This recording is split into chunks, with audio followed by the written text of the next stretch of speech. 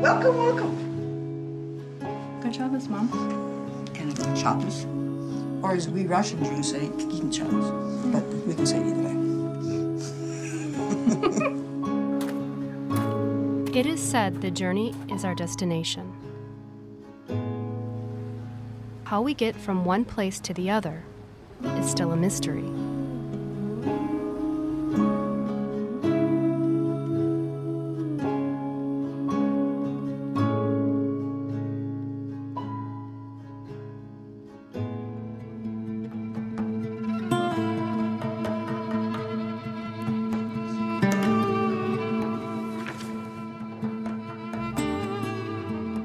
Part of the reason I brought you, because I wanted you to have some Jewish experiences. People name after someone who has died, the, the names keep popping up again and again. Why am I having a long distance conversation with you? This is stuff you don't eat on Passover. I know it's really hard to give this stuff up. It's hard.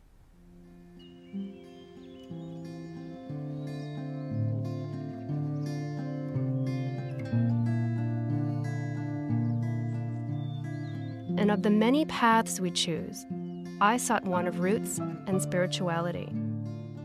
With my mother and daughter, three Jewish women seeking the meaning of past, present, and future.